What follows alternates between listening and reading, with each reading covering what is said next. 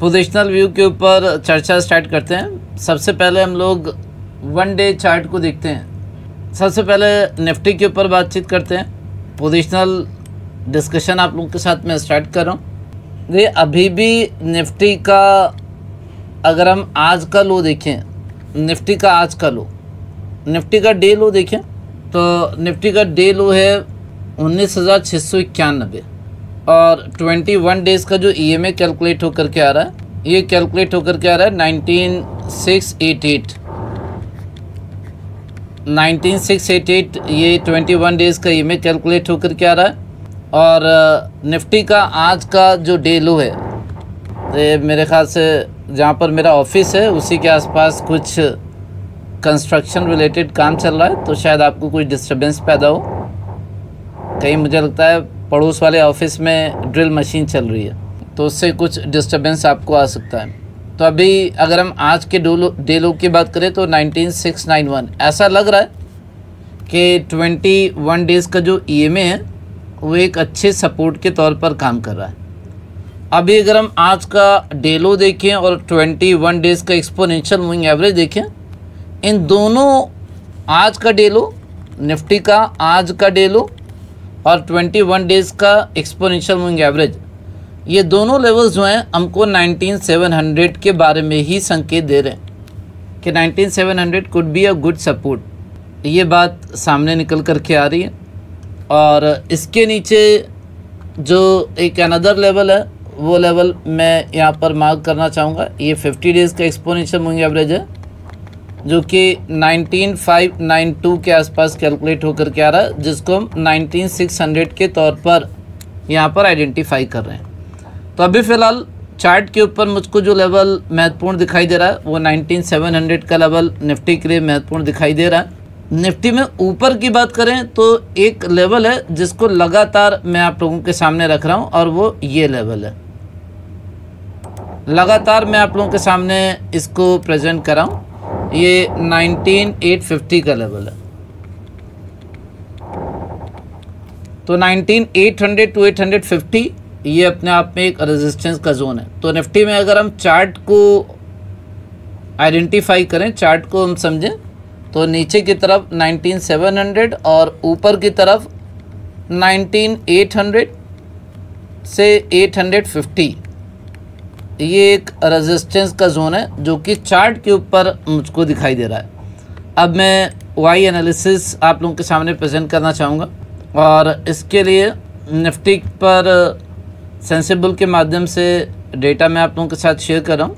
यहाँ पर पहले ओपन इंटरेस्ट देख लेते हैं। यहाँ पर भी सेम सिचुएशन है। नाइनटीन सेवन हंड्रेड ये आप देख सकते हैं ग्रीन बार जो कि पुट्स के अंदर ओपन इंटरेस्ट को बता रहा है। ये पुट का हुआ है। तो 19700 एक बहुत ही स्ट्रॉन्ग सपोर्ट के तौर पर हम लोगों को दिखाई दे रहा और 19800 ये हम लोगों को कॉल साइड का वाई रिप्रेजेंट करा और ये एक स्ट्रॉन्ग रेजिस्टेंस के तौर पर दिखाई दे रहा है। तो चार्ट के ऊपर भी वही बातें हैं। चार्ट के ऊपर भी वही पॉइंट्स हैं जो बातें हमको ओपन इंटरेस्ट के माध्यम से दिखाई दे रही हैं। तो ओपन इंटरेस्ट की स्थिति और चार्ट की स्थिति जो है वो कोरिलेट कर रही है। ऐसा मेरा मानना है। तो 19,700 से 19,800 ये एक रेंज हम लोगों को दिखाई दे रही है और ये काफ़ी मज़बूत रेंज है। मुझे ऐसा लगता है ये रेंज टूटेगी तो शायद फर्दर फिर हम लोगों को डायरेक्शन देखने को मिल सकती है। यहाँ पर अगर हम बात करें आज चेंज इन वाई की तो वाई का चेंज आप लोगों के सामने वाई चेंज हमको बताता है टुडेज एक्शन ये बहुत ही महत्वपूर्ण होता है। आज क्या ट्रेडर्स ने आज क्या किया? ये मैं बार बार आप लोगों को बताता हूँ। आज ट्रेडर्स ने क्या किया? तो ट्रेडर्स ने आज 19,700 के ऊपर जम करके पी राइटिंग करी है। अगेन ये उसी बात को और मजबूती के साथ प्रेजेंट कर रहा है कि 19,700 जो है वो एक स्ट्रॉन्ग सपोर्ट है। ट्रेडर्स ने आज जम करके 19,800 के लेवल के ऊपर सी राइटिंग करी है। अगेन ये उसी बात को ही प्रेजेंट करा है कि 19,800 जो है वो एक रेजिस्टेंस है। तो आज जो वाई चेंज हुआ है उसके बेसिस के ऊपर भी यही रेंज निकल करके आ रही है नीचे की तरफ़ 19,700 और ऊपर की तरफ़ 19,800 का लेवल अब ये टूटेगा तो ही किसी भी तरह की कोई भी डायरेक्शन जो है वो बाज़ार के अंदर बनेगी। ये निफ्टी के बारे में मैंने आप लोगों के साथ बातचीत करी। बैंक निफ्टी के बारे में बातचीत करना चाहूँगा। निफ्टी तो रिलेटिवली स्टेबल है, लेकिन बैंक निफ्टी जो है, वो मुझको निफ्टी की तुलना में वीक दिखाई दे रहा है। और उसका कारण भी है, अगर हम बैंक निफ्टी की बात करें बैंक निफ्टी डेफिनेटली निफ्टी की तुलना में ज़्यादा वीक है, और बैंक निफ्टी वीक होगा तो वो निफ्टी को फर्दर एग्रेवेट करेगा और ज़्यादा वीक प्रेजेंट करेगा। क्योंकि यहाँ पर ये जो दो लाइनें आपको दिखाई दे रही हैं, ये 50 डेज़ का ई में जो कि कैलकुलेट होकर के आ रहा है चवालीस हज़ार छः सौ आठ के ऊपर, और ये 21 डेज़ का ई में ये 21 ई में ये कैलकुलेट होकर के आ रहा है लगभग चवालीस हज़ार पाँच सौ उन्नीस के आसपास। तो बैंक निफ्टी इन दोनों ईमेज के नीचे ट्रेड कर रहा है। ये अपने आप में चिंता की बात है। निफ्टी इसके भी ऊपर है, इसके भी ऊपर है, निफ्टी इन दोनों इमेज के ऊपर है। बैंक निफ्टी में उल्टा है। बैंक निफ्टी 50 डेज़ की इमे के नीचे भी है 21 डेज़ की इमे के नीचे भी है। तो फ़र्क बिल्कुल एकदम साफ़ है। फ़र्क बिल्कुल एकदम साफ़ है। बैंक निफ्टी डेफिनेटली यहाँ पर वीक ही दिखाई दे रहा है। अगर बैंक निफ्टी के अंदर फर्दर वीकनेस हम लोगों को देखने को मिलती है तो सबसे महत्वपूर्ण लेवल जो मैं यहाँ पर आइडेंटिफाई करूँगा, ये चवालीस हज़ार का लेवल है। चवालीस हज़ार का लेवल काफ़ी ज़्यादा एक महत्वपूर्ण सपोर्ट के तौर पर मैं ऑब्ज़र्व कर रहा हूँ। अगर हम बैंक निफ्टी के आज के लो की बात करें कि बैंक निफ्टी ने आज क्या लो बनाया तो बैंक निफ्टी का आज का लो जो है, आप देख सकते हैं आज, ये लो है चवालीस हज़ार चवालीस का लो बनता हुआ दिखाई दिया है बैंक निफ्टी के अंदर। तो चवालीस हज़ार के लेवल के ऊपर हम सपोर्ट की बात करें चलिए अब बैंक निफ्टी के अंदर हम बात कर लेते हैं सेंसिबल के ऊपर। सेंसिबल के ऊपर ओपन इंटरेस्ट की सिचुएशन मैं आप लोगों के सामने प्रेजेंट कर रहा हूँ। पहले हम ओपन इंटरेस्ट को देखते हैं 18 अक्टूबर की एक्सपायरी के लिए। तो यहाँ पर चवालीस दो सौ का लेवल हम लोगों को दिखाई देता है। और यहाँ पर पुट साइड का ओपन इंटरेस्ट काफ़ी बढ़िया है।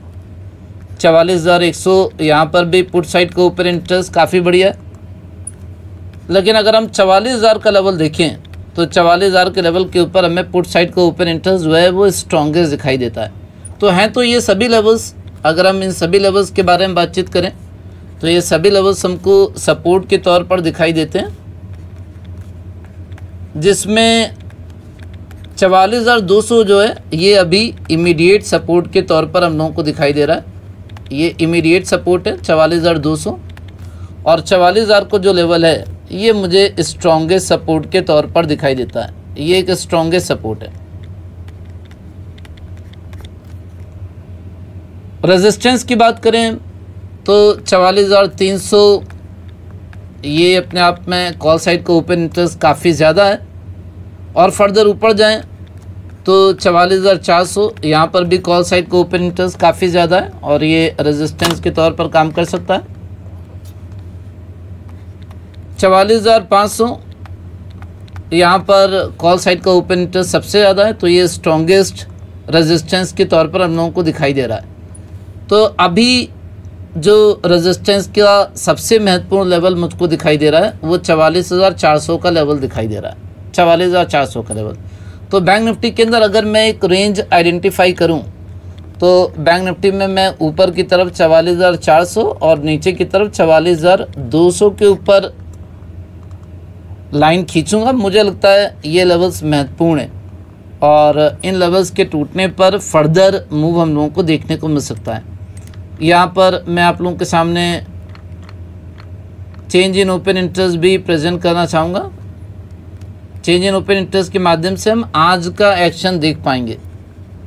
चेंज इन वाई आज क्या हुआ? ये आज का मार्केट एक्शन है। तो अगर हम आज देखें, चवालीस हज़ार दो सौ के ऊपर हमको पुट राइटिंग दिखाई दे रही है। जैसे कि आप यहाँ पर वॉच कर रहे हो।